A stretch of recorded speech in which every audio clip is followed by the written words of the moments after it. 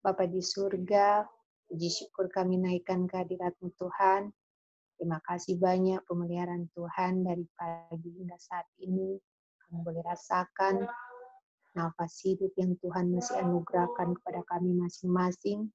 Dan saat ini kami boleh dikumpulkan lagi lewat Zoom untuk um, melihat kebaikan Tuhan dan biarlah firman yang akan kami dengar sebentar uh, itu bukan hanya sekedar pengetahuan saja tapi boleh menjadikan kami untuk bisa berubah karakter menyerupaimu.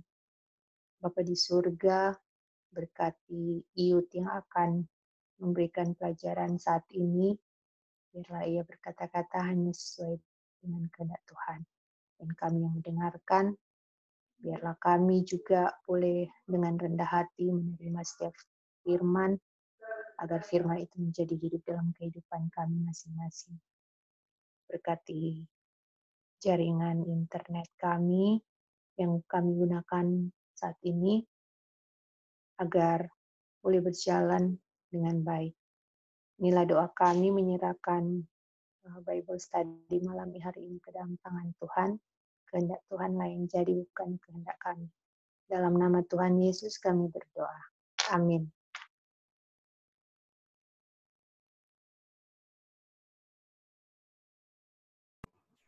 Terima kasih Oma. Sebentar kita mau share screen ya.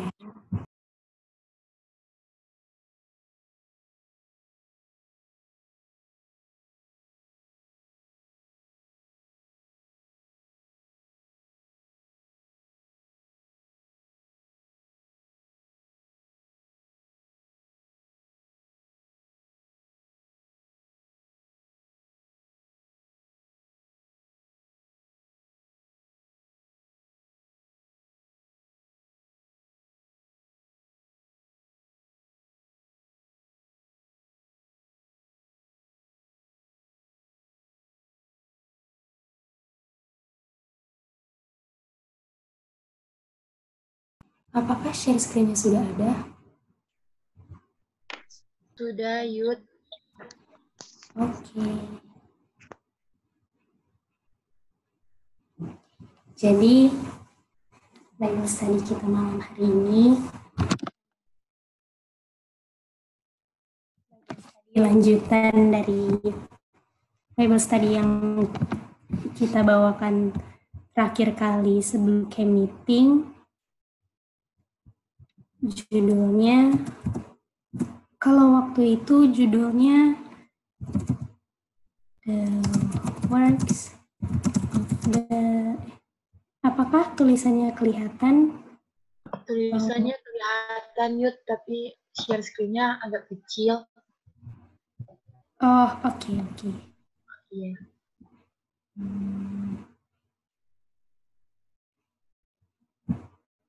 Apakah sudah bisa?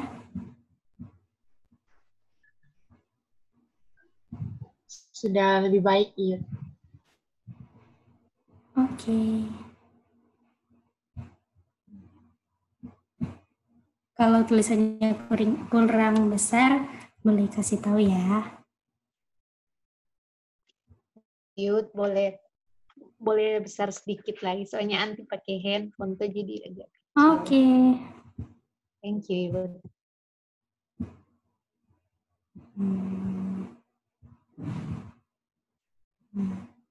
Sudah, Oma? Oke, okay, mantap. Thank you. Okay. judulnya adalah The Works of the Prince of this World. Ini bisa dibilang judul inti kalau waktu itu kita subjudulnya adalah Peace and Safety, sekarang subjudulnya adalah The Strategy.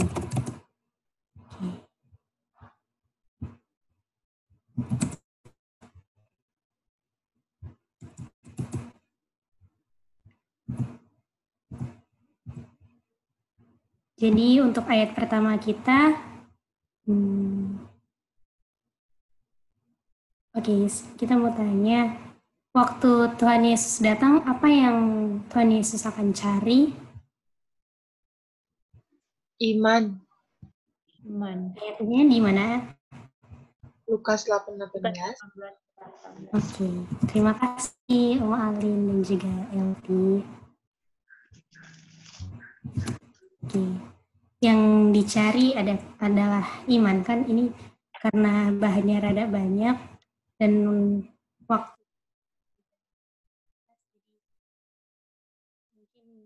sedikit yang baca bergir, bergiliran. Jadi di Lukas 18 ayat 8 ini dikatakan waktu Tuhan Yesus datang waktu Tuhan Yesus datang yang akan dicari di bumi adalah iman kan dan bagaimana orang yang kedapatan imannya apa yang terjadi kepada orang yang Tuhan Yesus dapatkan ada iman.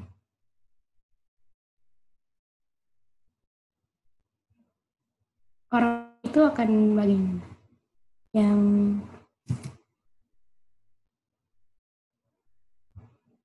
yang yang kedapatan iman orang itu akan bagaimana dan Selamat. Ya LT. Ya akan safe. Kalau safe artinya dapat kehidupan kekal kan? Iya. Berarti kalau yang tidak kedapatan iman, Not safe. safe toh. Hmm. Dan terus tidak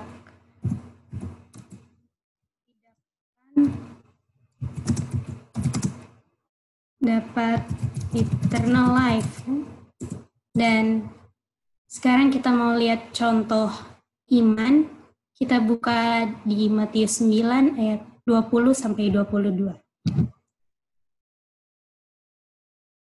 Oke. jadi di sini cerita tentang wanita yang pendarahan 12 tahun kan dan dia datang lalu menjamah jubahnya Tuhan Yesus.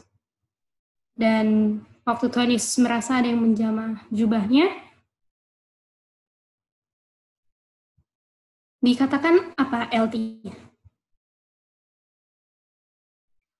Imanmu yang menyelamatkanmu. Oke. Jadi iman yang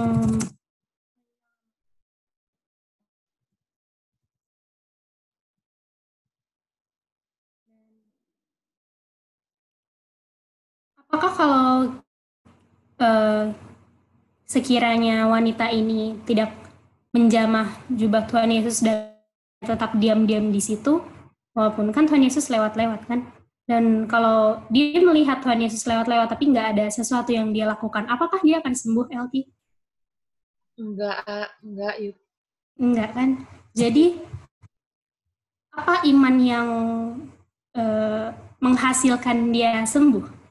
Ada punya, Ada apanya? Dia punya bukti yang diungkapkan. Nah, diungkapkan kan Touch. melalui uh, touch his garment kan.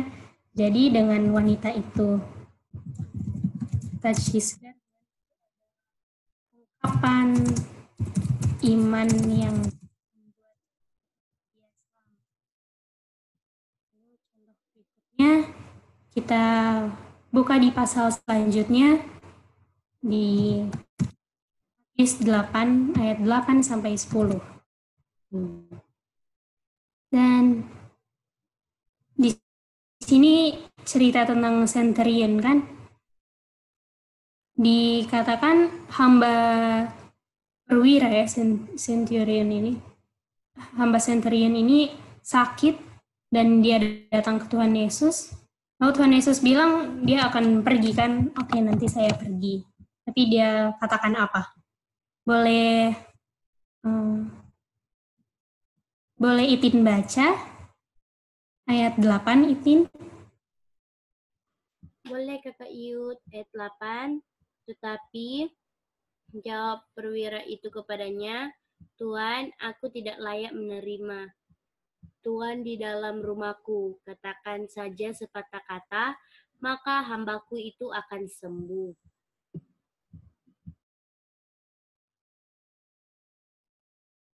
Oke, Tin.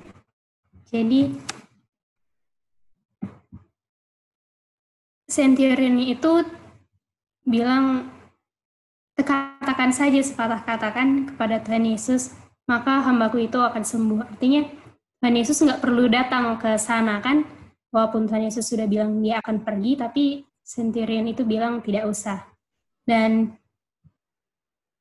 apa ini Itin? Speak the world.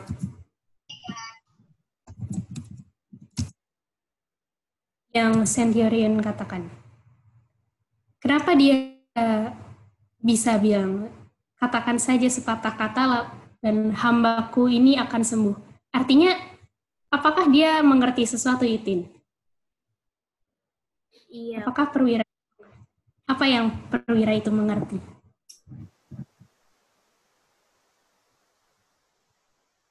Sehingga dia bisa katakan seperti itu. Hmm, ada apa dalam kata-katanya Tuhan Yesus sehingga dengan Tuhan Yesus berkata saja dia percaya hambanya itu akan sembuh tanpa Tuhan Yesus datangi langsung. Apa yang perwira itu mengerti berarti kan? Firman. Ada apa dalam firman?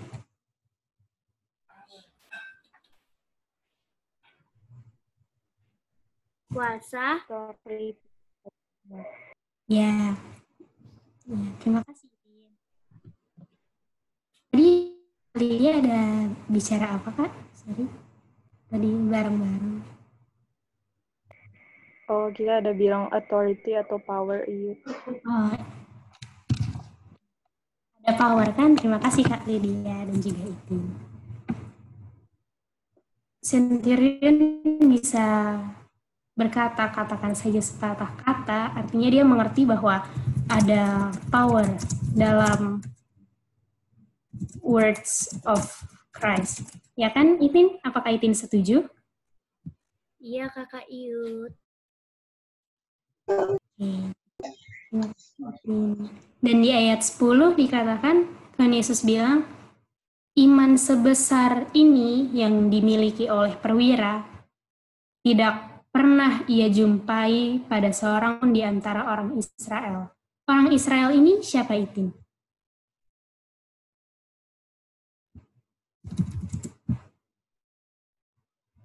Bangsa Israel itu adalah bangsa pilihan Tuhan kan? Iya. Tetapi dikatakan gak ada iman sebesar iman yang dimiliki oleh perwira. Dan mau lihat satu contoh lagi di oh sebelum kita lihat satu contoh lagi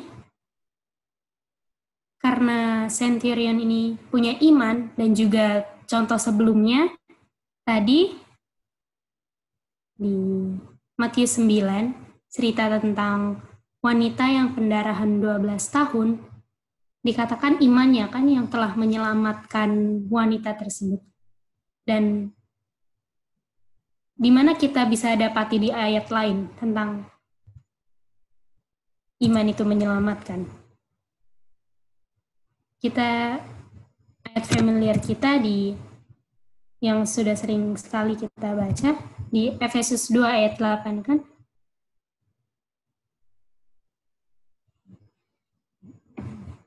Di Efesus 2 ayat 8 dikatakan,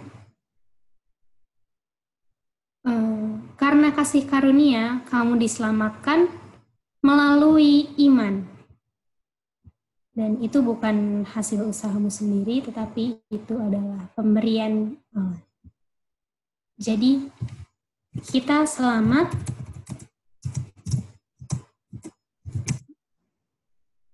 karena grace tapi grace bisa ada.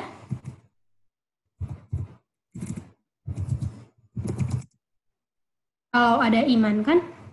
Jadi kalau tidak ada tidak ada iman, apakah ada grace?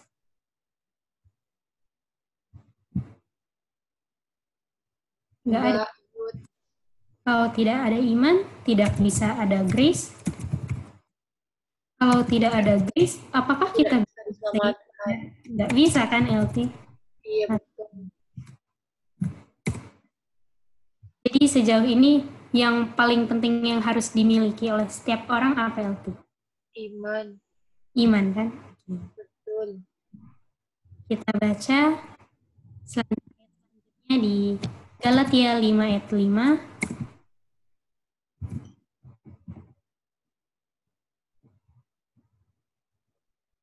Boleh, LT boleh baca? Boleh. For we through the Spirit wait for the hope of righteousness by faith. Oke, terima kasih LT. Jadi dikatakan kita melalui roh menunggu pengharapan menunggu pengharapan kebenaran oleh iman. Jadi ada. I hmm, ada. Righteousness.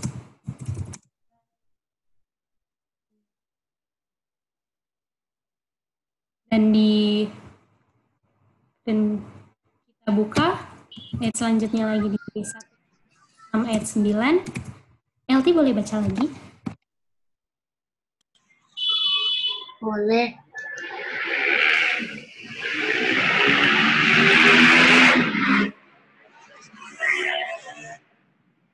Now ye not the un unrighteousness, the unrighteous will not inherit the kingdom of God.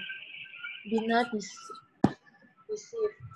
neither fornicator, nor idolaters, nor uh, idol idolaters, nor adulterers, nor effeminate, nor abuse, abusers of themselves with mankind. terima kasih LT jadi kalau eh, 5 ayat 5 ada righteousness by faith. Dan di 1 Korintus 6 ayat 9 ada di unrighteous. Kalau orang yang benar, seseorang itu bisa benar karena oleh iman kan. Dan kalau di unright, unrighteous atau orang yang tidak benar, ya, dia tidak melalui iman kan. Dan artinya dia juga safe di unrighteous ini. Dan kalau kita buka di Ibrani 11 ayat 6, Hmm, boleh. hmm, Apakah ada ucok di sonder? Ada kak. Ucok boleh baca. Iya, iya kak Yud. Ini. Ya kak Yud. Oke. 11 ayat 1. Ibru. Ibrani. Ibrani 11 ayat 6. Tetapi tanpa iman tidak mungkin orang berkenan kepada Allah. Sebab barang siapa berpaling kepada Allah, ia harus percaya bahwa Allah ada dan bahwa Allah memberi upah kepada orang yang sungguh-sungguh mencari Dia. Terima kasih Ucok. Sama-sama Kak Yud. Bentar. Jadi dikatakan di Ibrani 11 ayat 6 tanpa iman tanpa iman artinya yang di unrighteous kan? Karena kalau righteousness dia dengan iman oleh iman. Tanpa iman artinya ini merujuk. Righteous atau orang yang tidak benar benar kan? Orang yang tidak benar itu tidak mungkin. Tidak mungkin berkenan kepada Allah. Kita hidup untuk please God kan? Bukan please man. Jadi kalau kita mau hidup please God kalau please God, kita harus ada iman, kita harus ada Halo, Kak. ya Oh iya, Kak Iyut punya suara tadi tenggelam. Oh, oke, Itin, terima kasih. Jadi, kalau kita mau hidup please God, karena kita hidup ini untuk please God, kan bukan please man. Jadi, kalau kita mau hidup please God, artinya harus ada iman dalam kita, kan? Dan kita mau lihat contoh berikutnya. Ini contoh yang terakhir. Tadi kita sudah lihat contoh dari wanita pendarahan 12 tahun, dan satu lagi em, perwira Roma yang hambanya sakit. Dan satu contoh lagi kita buka di Matius 14 ayat 27 sampai 31. Hmm. Ini cerita tentang waktu murid-murid melihat Tuhan Yesus berjalan di atas air lalu dikira itu roh atau hantu dan Petrus bilang, kalau itu memang engkau, suruhlah aku datang kepadamu berjalan di atas air. Dan Tuhan Yesus bilang, come, kan? Dan waktu Tuhan Yesus bilang, come, apakah Petrus bisa berjalan di atas air? Bisa. Bisa, kan? Tetapi waktu ditiup angin, Petrus mulai takut dan dia tenggelam. Lalu Petrus teriak, Tuhan tolong aku, Lord save me. Dan apa yang Tuhan Yesus bilang LT kepada Petrus? Oh thou of little faith. Oh kau, hai kamu, oh kamu yang memiliki iman yang kecil. Iya kan? Oh, Kenapa yang Kamu ragu. Wherefore didst thou doubt? Jadi Petrus ini adalah Petrus ini disciple kan, murid Tuhan Yesus. Dan kalau kita dari ketiga contoh yang sudah kita baca ada dua kategori kan. Disciple yang bukan disciple.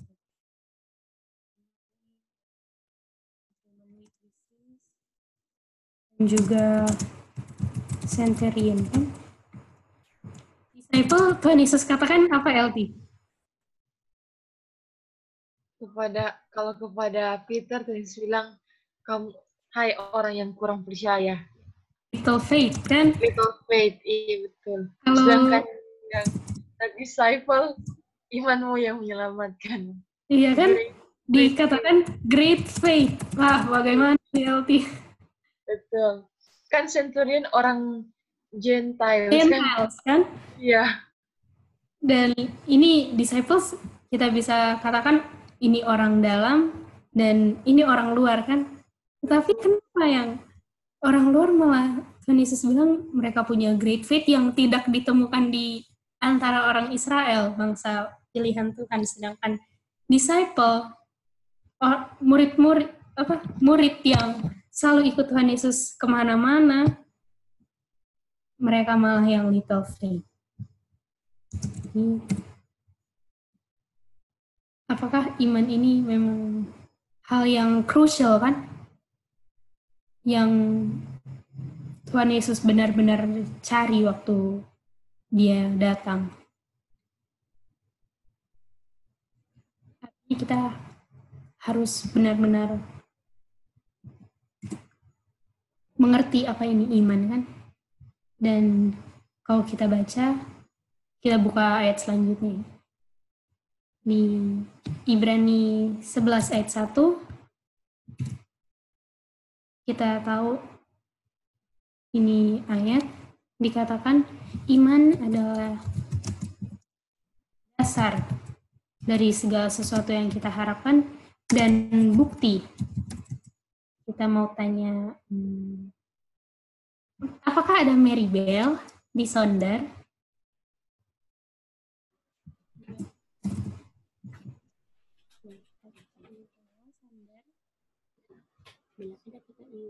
Ada Kak Iut. Halo Mary Bell, selamat malam. Malam Kak Iut. Mary Bell, kita mau tanya, kalau bukti itu kelihatan atau enggak? Kelihatan Kak Iut. Kelihatan kan? Terima kasih Mary Bell. Iya, iya, Kak. Iut. Jadi, iman itu adalah dasar dan juga bukti dari sesuatu yang tidak kelihatan. Walaupun dari sesuatu yang tidak kelihatan, tapi kalau bukti, artinya bukti ini kelihatan kan?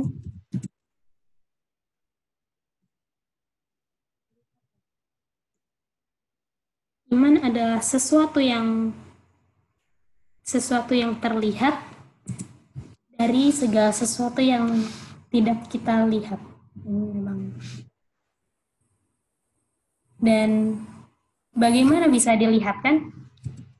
Bagaimana bisa bagaimana iman bisa dilihat?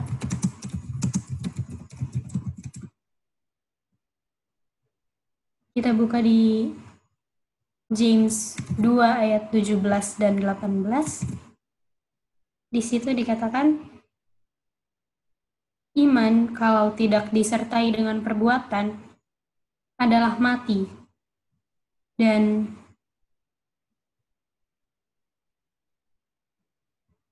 seseorang mungkin bisa berkata, padamu ada iman dan padaku ada perbuatan. Aku akan menjawab dia. Tunjukkanlah padaku imanmu itu tanpa perbuatan, dan aku akan menunjukkan iman eh menunjukkan kepadamu imanku dari perbuatan-perbuatanku. Jadi dari mana iman bisa di dari mana iman bisa dilihat, Mary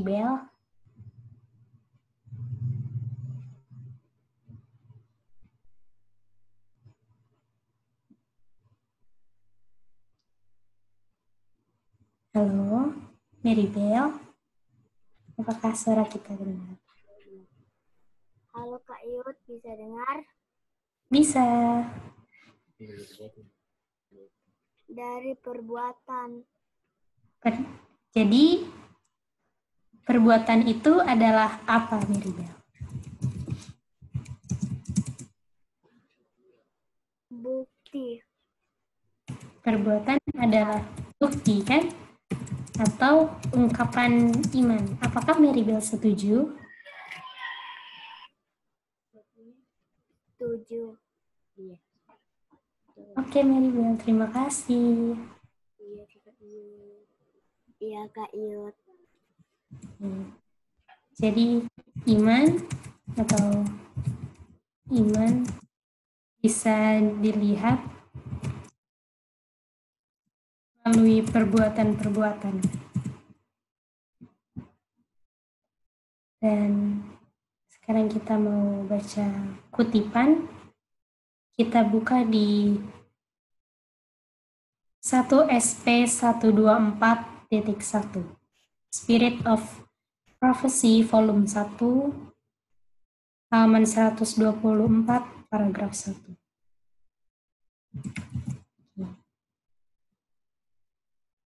Kita boleh minta hmm, Oma Alin boleh baca. Bisa yuk. Bisa, Oma. Mengapa ada begitu sedikit latihan iman yang benar dan sedikit sekali dari kebenaran yang ada pada banyak orang yang mengaku beriman. Adalah karena mereka malas dalam hal-hal rohani. Mereka tidak mau mengerahkan tenaga, menyangkal diri, menderita di hadapan Tuhan, berdoa panjang dan sungguh-sungguh untuk berkat, dan karena itu mereka tidak mendapatkannya. Iman yang akan hidup di masa kesusahan harus setiap hari dalam latihan sekarang. Mereka yang tidak berusaha keras sekarang untuk menjalankan iman yang teguh akan sepenuhnya tidak siap untuk menjalankan iman yang akan memungkinkan mereka untuk berdiri di hari kesulitan. Terima kasih, Oma Aldin. Sama-sama, Yud. Jadi dari kutipan ini ada hanya sedikit, begitu sedikit orang yang exercise mereka punya iman dan mereka tidak sepenuhnya sungguh-sungguh melatih iman mereka dan im, dikatakan iman yang akan hidup di masa time of trouble harus setiap hari dilatih sekarang. Kalau tidak dilatih, kalau tidak berusaha keras untuk menjalankan iman yang sekarang harus dilatih, dikatakan apakah akan siap untuk iman itu dimanifest di time of trouble kalau tidak dilatih? Tidak. Nggak akan bisa siap kan?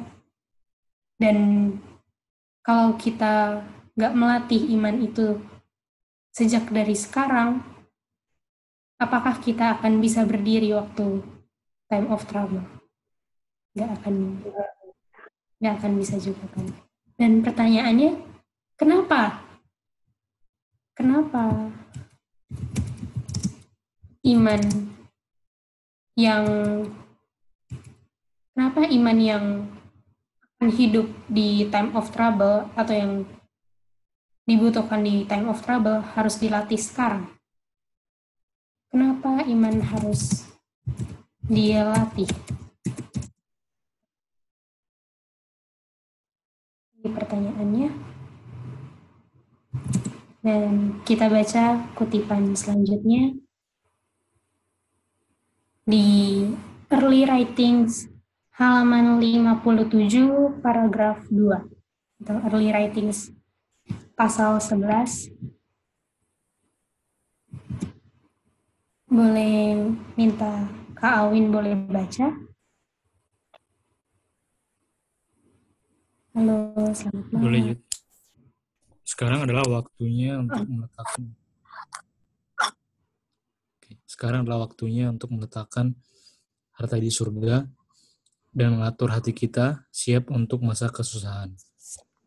Oke, terima kasih Kak. Jadi, pertanyaannya kan kenapa iman harus dilatih sekarang? Memang, memang kenapa? Apa yang terjadi sekarang? Dikatakan sekarang, now, waktunya untuk kita meletakkan kita punya harta-harta di surga dan mengatur kita punya hati kan untuk apa? Untuk kita bisa untuk kita bisa siap kan untuk time of trouble. Dan kita tahu di depan kita ada time of trouble yang yang tidak pernah ada terjadi sebelumnya kan, such as never was since there was a nation. Dan kita hidup sekarang untuk kita bisa kita bisa siap untuk Halo Yud. Ya, Oma. Oh, ya, hilang hilang tadi. Oh, oke. Okay, Bisa ulang Yud. Jadi sekarang pertanyaannya kenapa iman harus dilatih sekarang kan? Dan berdasarkan kutipan yang sudah kita baca, sekarang adalah waktunya untuk kita mempersiapkan diri untuk supaya kita bisa siap untuk time of trouble kan. Dan kita tahu dari semua pelajaran yang kita pelajari di camp meeting kemarin, ataupun pelajaran-pelajaran sebelumnya, di depan kita ada time of trouble yang sedang menunggu kan. Mereka yang menunggu, time of trouble yang sedang menunggu kita, bukan kita yang tunggu time of trouble. Dan time of trouble adalah adalah sesuatu yang nggak pernah terjadi sebelumnya kan dan tidak bisa dijelaskan oleh otak manusia dan great vivid presentation pun nggak bisa mendeskripsikan bagaimana time of trouble itu. Dan apa sih pertanyaan selanjutnya? Apa yang membuat kita harus siap Memang ada apa? Apa maksudnya? Apa yang apa yang akan terjadi di time of trouble ini sehingga kita harus siap? Memang apakah ada sesuatu yang crucial di time of trouble? Dan kita baca, kita buka di Great Controversy halaman 100 eh halaman 615 paragraf 1.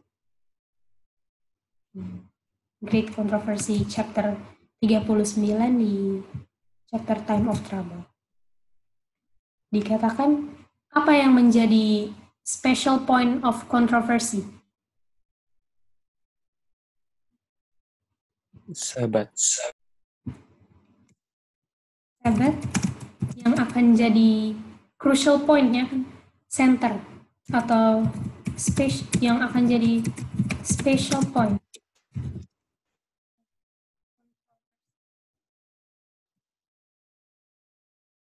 Dan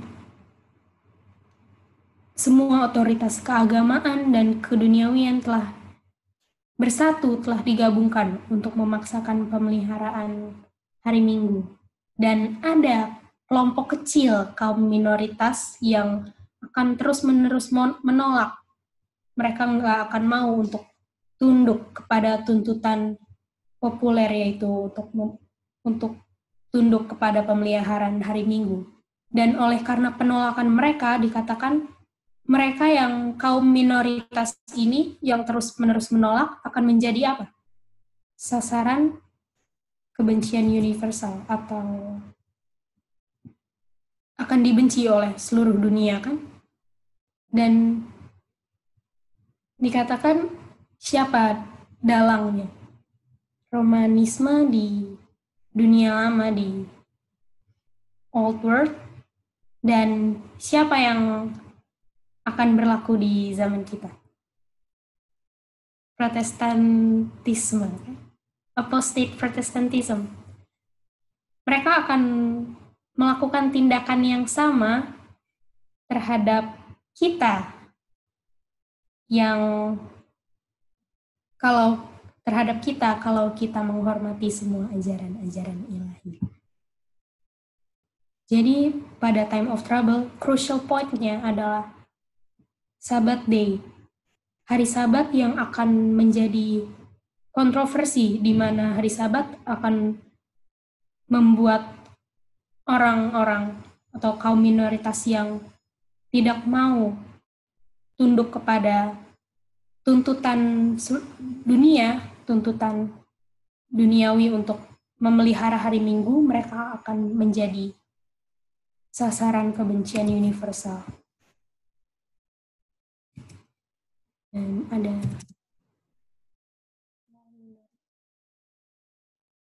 small minority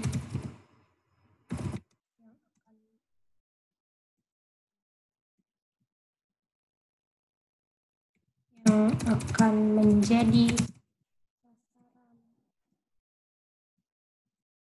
kebencian universal. universal. Dan dalamnya adalah apostate Protestantism kan? Dan apakah ini sudah mulai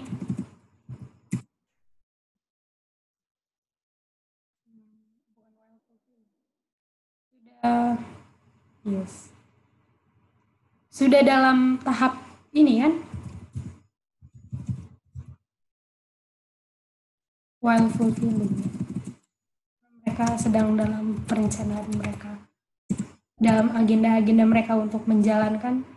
Tapi kita tahu mereka belum menjalankan itu semua karena apa? Apakah mereka yang tunggu kita kan Tuhan sengaja tunggu karena Tuhan tahu umat-umatnya belum siap. Karena kalau sudah dijalankan, apakah ada orang yang akan selamat kalau umatnya belum ada yang siap? Nggak akan kan? Dan kita baca lagi di Great Controversy halaman 618 Paragraf 3. Masih di bab yang sama, di bab time of trouble. Boleh minta Kak Bobi boleh baca?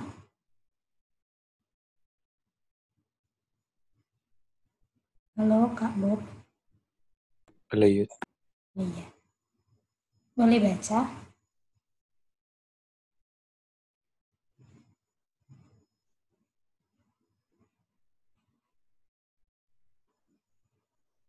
Halo, apakah suara kita kedengaran? Halo. Oh iya, Sorry tadi Kak ada sorry, tadi ada setting audio sebentar. oke. Yang ini apabila Hmm. setan. Ya, Oke. Apabila setan menuduh umat Allah atas dasar dosa-dosa mereka, Tuhan mengizinkan dia untuk mencobai mereka seberat-beratnya. Keyakinan mereka kepada Allah, kepercayaan dan keteguhan mereka akan diuji dengan berat. Pada waktu mereka mengingat kembali masa lalu, maka harapan mereka tenggelam. Karena sepanjang hidup mereka, mereka melihat hanya sedikit kebaikan. Mereka menyadari sepenuhnya kelemahan dan ketidaklayakan mereka. Setan berusaha menakut-nakuti mereka dengan pemikiran bahwa mereka tidak mampu, tidak punya harapan, bahwa noda kenajisan mereka tidak akan pernah dihapuskan.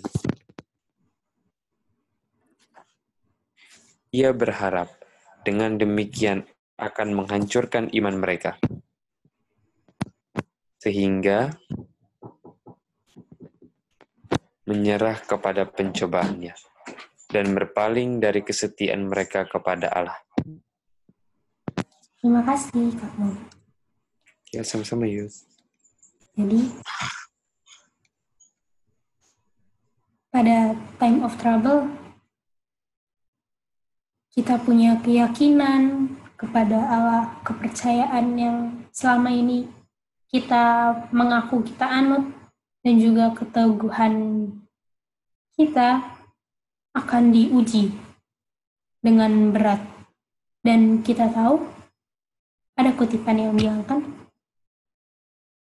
yang mau jadi saints di surga harus juga menjadi terlebih dahulu jadi saints di bumi kan dan iman yang iman atau keyakinan kita yang akan ada di time of trouble nanti ditentukan oleh apa yang kita lakukan. Sekarang kan? Dan kalau sekarang kita kalau sekarang kita tidak exercise kita punya iman, kita tahu kita yang sekarang menentukan kita yang nanti kan. Yang nanti itu hanya hanyalah manifestation dari apa yang kita perbuat sekarang. Dan kalau kita sedikit exercise atau tidak sungguh-sungguh seperti kutipan yang tadi sudah kita baca, apakah waktu kita akan diuji dengan berat ini kita akan mental kan? Dan pekerjaan setan dia berusaha untuk menakut-nakuti kita. Dan berdasarkan pelajaran daily Bible study kita tadi siang juga ada dua garis kan? Dekat-dekat mau akhir Bible study, ada dua garis merah dan eh ada dua garis yaitu garis merah dan juga garis hijau. Apakah ada yang ingat? Ada ingat Yuti. yang tadi Angkel bilang kan? Ada garis hijau dan juga garis merah. Dan garis merah ini kita punya sangat tebal kan Elti? Sangat tebal sekali. Dan saking tebalnya, setan mau apa? Mau takut-takutin kita bilang, itu tuh udah terlalu tebal, nggak mungkin itu bisa terhapus. Dia bilang apa? Itu noda-noda, dosa-dosa, nggak akan pernah bisa dihapuskan. Karena saking tebalnya sudah mendarah daging, itu mustahil. Tapi yang tadi kita belajar ada ada 10 tahap kan? Ada 10 steps. Dari dari sin to spotless kan bagaimana step by step langkah demi langkah dari kita yang penuh dosa bisa benar-benar hilang dan mustahil untuk berdosakan LT dan kalau ada roh di dalam kita dia akan buat apa LT buat new pathway. new pathway kan? Yaitu garis hijau ini. New pathway sehingga garis merah yang sangat tebal yaitu jalur dosa kan? Jalur dosa yang selama ini kita selalu injak selalu jalan di jalur itu. Kalau ada roh kudus dalam kita dia akan dia berikan kuasa untuk kita nggak injak itu jalur dosa lagi kan, tapi membuat kita berada di jalur yang baru. Yang kalau kita terus berada di new pathway ini atau garis hijau, lama-kelamaan garis merahnya bagaimana? Ujar. Akan fade away kan, dan lama-lama hilang. Akhirnya hanya tinggal apa? Hanya tinggal garis yang hijau dan kalau garis yang hijau, apakah sudah nggak ada garis yang merah? Mustahil untuk berdosa kan? Makanya Tuhan bisa jamin umat-umatnya yang akan nanti berada di surga nggak akan mungkin lagi berdosa. Dan itulah yang setan counter kan. Dan ada kutipan juga yang bilang saking saking uttermost-nya kita punya dosa, itu nggak akan bisa dihapus, saya akan bilang. Tapi berdasarkan, coba kita buka Ibrani 7.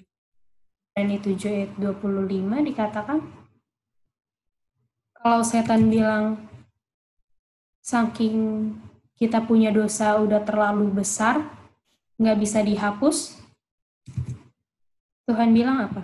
Hmm boleh kita lihat urutannya boleh anti Esther boleh baca selamat malam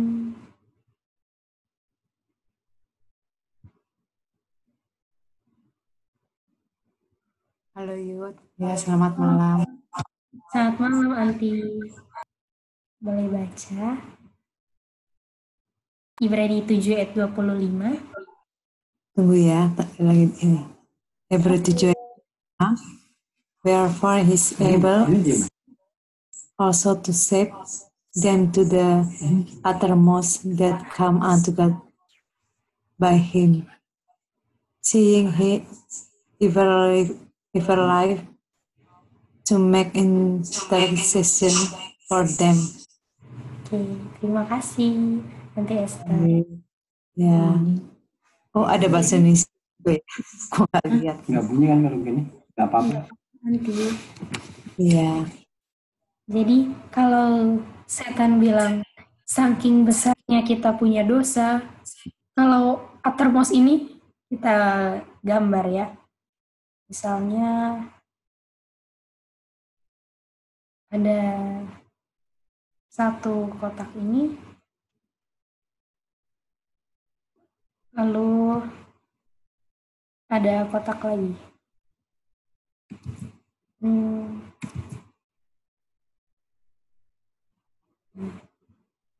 Apakah kelihatan ini kotak-kotak yang kita ada bikin? Kelihatan, Yud. Oke. Eh,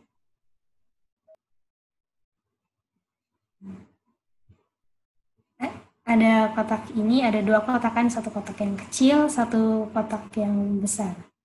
Lalu kita buat satu lagi ya. Ada kotak satu lagi di tengahnya. Ada tiga kotak kan? Ini kita ya. Eh, sorry. Ini kita punya dosa. Di mana itu Atermos? Kalau, nah, ini misalnya warna orange ini dosa ya. Kalau setan bilang kan, saking besarnya dosamu, udah sangat besar sekali, sampai tidak bisa itu sudah mustahil untuk Tuhan bisa ampuni kan itu yang setan bilang. Tapi di Ibrani 7 ayat 25 dikatakan ia sanggup dia bisa menyelamatkan mereka sampai ke Atermos. Kita ingat sekali penjelasan angka tentang Atermos waktu itu. Kalau Atermos apakah dia ada di sini? Atau dia ada di kotak yang satu ini? Atermos itu, kalau ini ada kotak-kotak ini adalah misalnya kayak jang, eh, kalau waktu jangka waktu ya, misalnya ini kayak apa ya? Pagar lah, kayak batas. Atermos itu sampai eh sudah ujung-ujung. Misalnya di sini misalnya ini titik paling ujung yang tidak ada ujungnya yang sangat paling ujung. Di situlah atermos yang sudah benar-benar jauh keluar dari batas. Bukan hanya keluar batas. Bukan hanya di sini. Atermos bukan hanya sekedar di sini. Atau masih masih dekat pagar atau jauh sedikit dari pagar. Tapi atermos itu adalah jangka yang paling jauh sejauh-jauhnya yang udah benar-benar tidak mungkin. Tapi Tuhan bilang sejauh-jauhnya Tuhan sanggup untuk bisa selamatkan kita kan. Dan walaupun kelihatannya mustahil, apakah ingat ada kutipan yang bilang God choose extremities? Kita belum sempat cari itu kutipan. God always choose extremities untuk untuk apa manifest dia punya power atau apa ya. Pokoknya Tuhan selalu pilih sesuatu yang kelihatan ekstrim kelihatan nggak mungkin untuk untuk bisa manifest Tuhan punya power. Seperti ini ya. Di sini lah misalnya ini ujung yang paling paling ujung. Di situlah Patmos Inilah termosnya.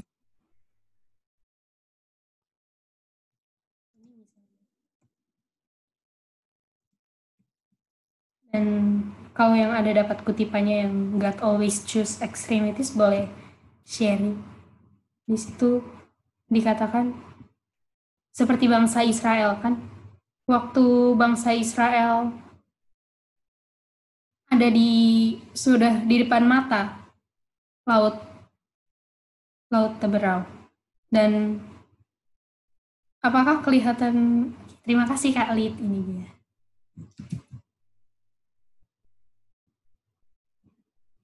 Ini boleh share Kak dia punya apa kutipan ada di mana?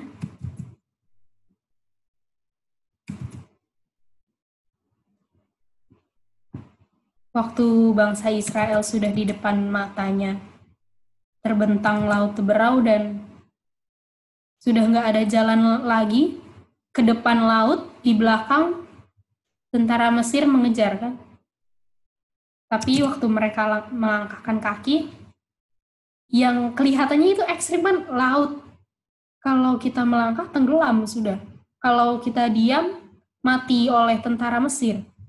Tapi waktu mereka melangkah, Tuhan buka laut Teberau kan. Tuhan buka jalan waktu mereka melangkah di Terima kasih Kak Lydia. Di 5T 713 paragraf 4. Kita translate juga ya. Hmm.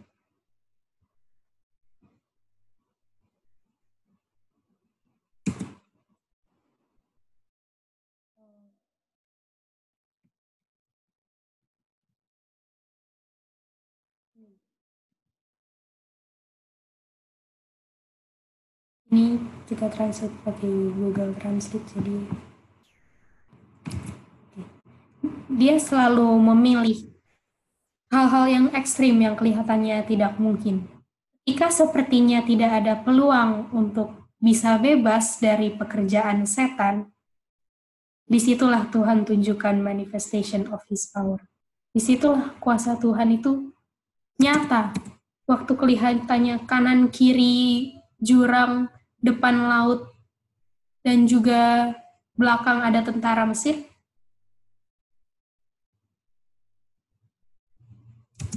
Melangkahkan kaki itu, waktu bangsa Israel melangkahkan kaki, itulah wujud atau bukti iman mereka kan?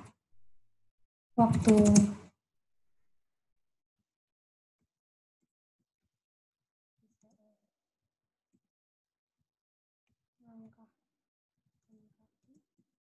lalu laut terbelah.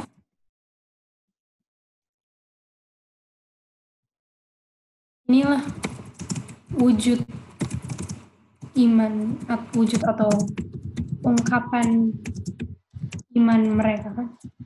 Ungkapan iman yang kalau iman itu diungkapkan iman itu yang menyelamatkan. Dan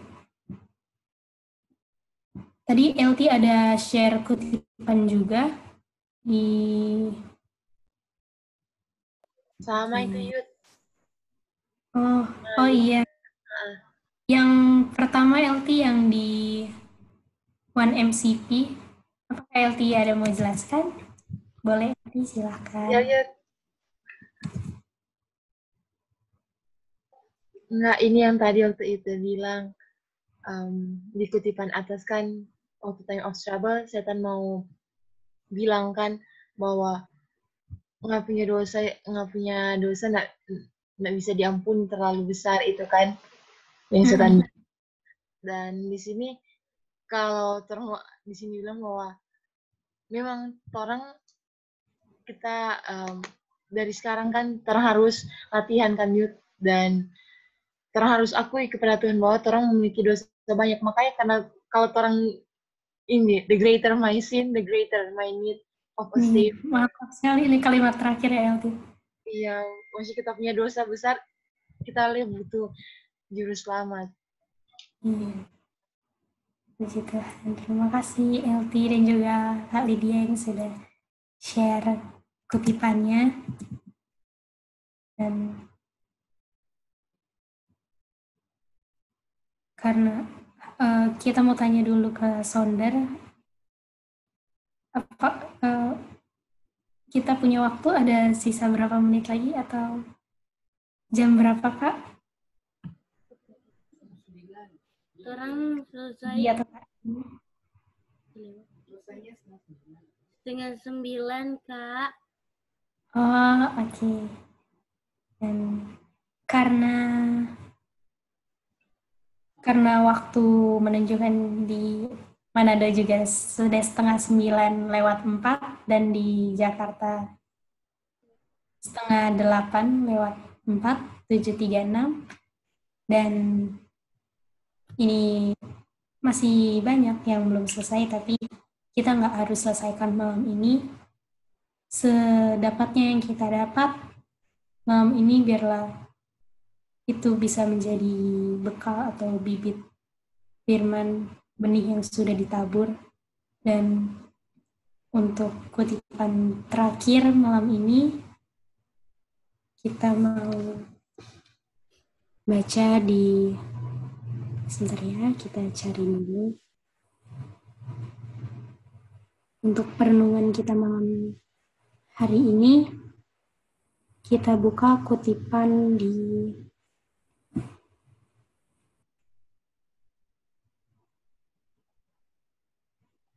sebentar ya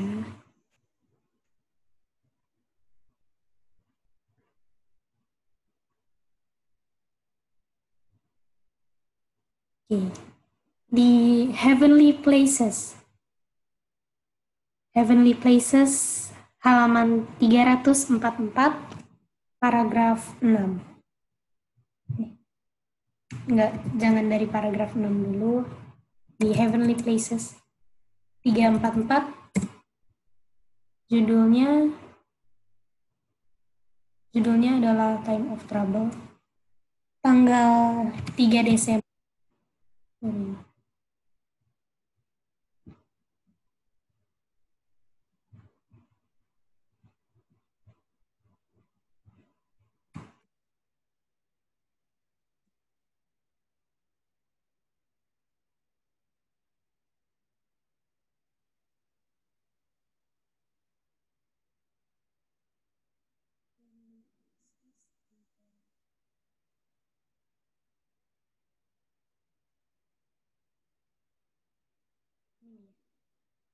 Kita baca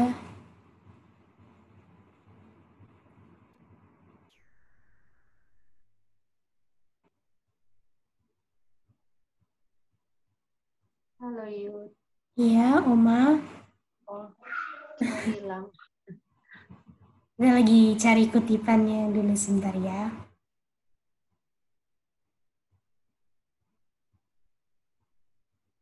Oke. Untuk perenungan kita malam hari ini, kita buka, kita baca di Heavenly Places chapter 38, 338, Heavenly Places 344, paragraf 6. Hanya satu kalimat pendek. Boleh boleh LT baca?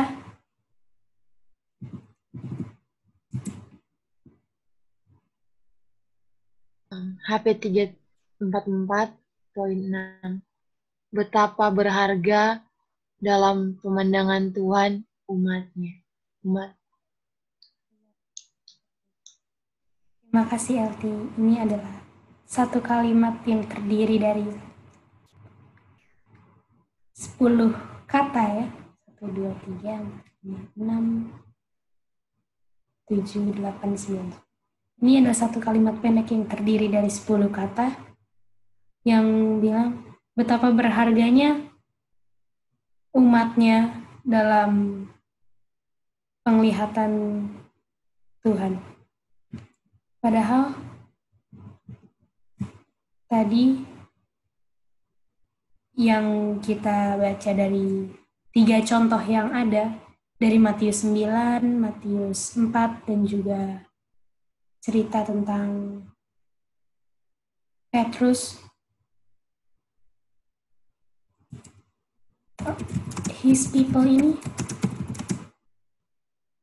merujuk kepada umat yang Tuhan pilihkan disciples, bangsa Israel, dan his people, apakah mereka punya faith great atau little? Little. Little faith. Faith kan? Dan di Maliaki Maliaki 3 ya, yang katakan eh Ezekiel 3 Ezekiel 3 koreksi kita kalau kita salah ya. Seingat kita Ezekiel 3 yang katakan kalau kita bicara untuk orang dalam apakah akan ditolak atau akan diterima? Nggak mau dengar. Mereka nggak mau dengarkan apakah yang di dalam itu his people yang dari awal sebenarnya Tuhan sudah pilih? Betul. mereka malah malah membangkangkan malah mereka tidak mau dengar-dengaran. Tetapi di sini dikatakan how precious betapa berharganya umat-umatnya itu. Dan kita ini judulnya adalah time of trouble. Dan kita percaya kita adalah last generation kan kita adalah generasi generasi terakhir yang sudah ada di penghujung sejarah dunia dan dunia ini sudah mau berakhir. Dari generasi yang paling terakhir periode gereja yang paling terakhir apakah dari kita lah generasi yang paling bobrok? Yang paling nggak ada iman, yang paling yang paling lupa sama Tuhan. Tetapi dari generasi yang paling busuk, dari kita yang benar-benar ekstrim, tadi dikatakan Tuhan selalu pilih hal-hal yang ekstrim kan. Kita yang Laodikia, dari periode Laodikia, dan generasi yang paling busuk kan dari first generation yang sudah benar-benar tidak ada harapan dan sudah mau dimuntahkan kan tapi dari generasi ini kita percaya ada apa yang akan bangkit untuk menjadi saksi-saksi Tuhan akan ada 144 ribu. Dan apakah hanya 144 ribu yang akan tembus time of trouble kan? Betul, yang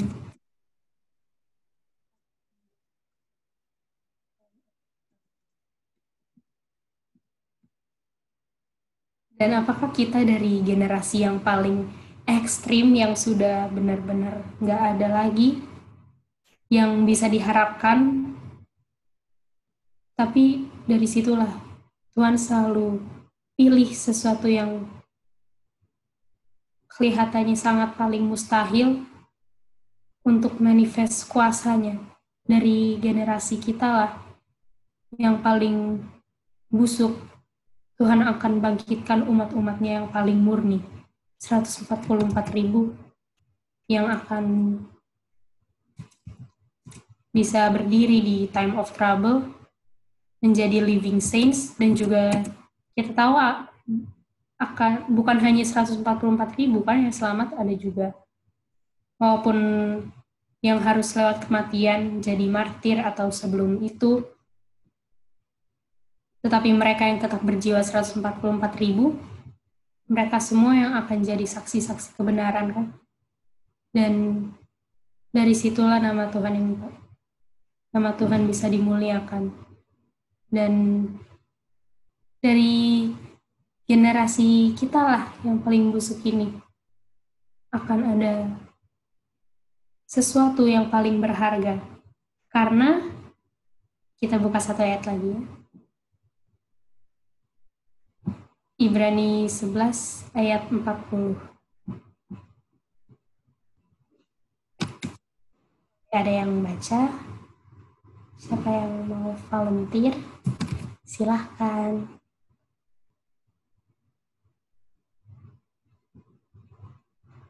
Boleh langsung translate, karena bahasa Inggrisnya mantap sekali.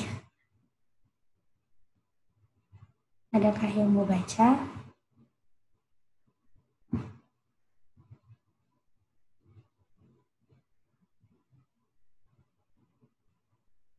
Halo, Halo, kami Sheila.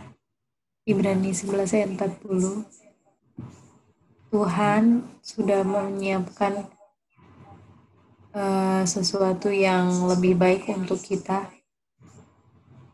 di mana mereka, kita, tidak tidak menjadi sempurna. Terima kasih, Sheila. Dan kita tahu Ibrani 11 bukunya isinya tentang iman kan? By faith Moses, by faith semuanya Enoch. Dan mereka yang sudah di surga Elijah Moses, Enoch. Apakah kita adalah jaminan bahwa mereka nggak akan turun lagi kan? Karena kalau nggak ada kita, mereka nggak ada gunanya.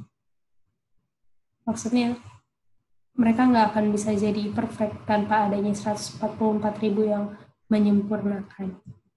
Dan biarlah kita ingat untuk selalu exercise kita punya iman supaya kita bisa stand in the time of trouble. Jadi Bible study kita malam ini sampai di sini dulu dan kalau ada kesempatan lagi kita bisa bertemu kita akan lanjutkan pelajaran ini yang judulnya The Strategy untuk melihat apa yang setan mau membuat strateginya untuk terhadap kita. Kita akan belajar itu di kesempatan yang akan datang. Biarlah dari Bible Study kita malam hari ini, apa pun yang kita dapat, yang kita bisa ambil, kita pelajari, biarlah semuanya untuk memuliakan nama Tuhan saja. Saya bawa dalam nama Tuhan Yesus, apakah ada yang mau kasih tambahan? Kalau sudah tidak ada, kita kembalikan ke Sonder untuk pilih doa buka ya. Eh, doa tutup. Terima kasih.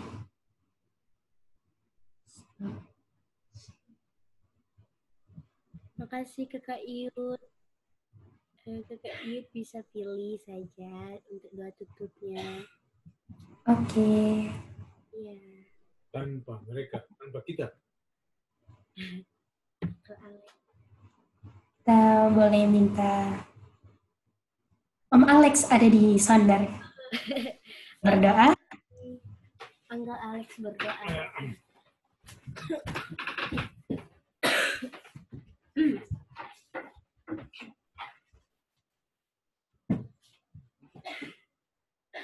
Baik, mari kita berdoa di tempat kita masing-masing.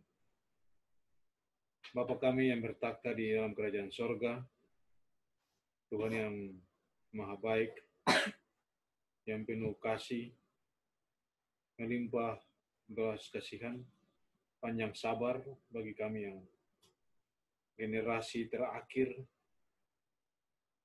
yang disampaikan oleh nabi-nabimu adalah generasi yang paling busuk dari semua generasi yang pernah hidup di atas dunia ini. Namun Tuhan, dari generasi inilah ada satu umat yang akan menggenapkan janji Tuhan di dalam Ibrani 11 ayat 40. Bahwa semua akan menjadi sempurna apabila kita yang muncul dari generasi yang paling buruk ini akan membuktikan kepada alam semesta bahwa sesungguhnya setan tidak memiliki kebenaran. Yang memiliki kebenaran adalah Tuhan Yesus dan Bapa dalam kerajaan surga. Oleh karena itu ya Tuhan, kami ucapkan terima kasih bahwa kami diberikan kesempatan yang terakhir. Bukan kesempatan kedua terakhir, tetapi kesempatan yang terakhir untuk masing-masing kami mengoreksi akan hidup kami, agar kami berjalan sesuai dengan kehendak Tuhan dalam firman. Bapa di sorga, tolong ketidakpercayaan kami untuk kami percaya akan kuasa Tuhan, grace Tuhan, strength Tuhan, strength Bapa dan diberikan kepada anak yang di mana Yesus Kristus telah menang dengan kekuatan dan kuasa dan spirit Bapa dan itulah yang akan kami adopsi untuk kami bisa menjadi anak-anakmu ya Bapak.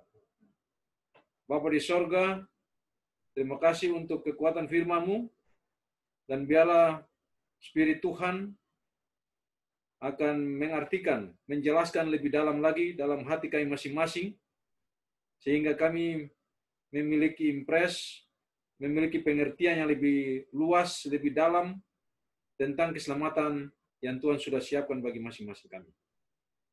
Bapak di sorga, apabila kami kurang fokus dari hari ke hari dalam persiapan menghadapi time of travel ini ya Tuhan, biarlah Tuhan ajak kami dengan kuasamu untuk kami fokus.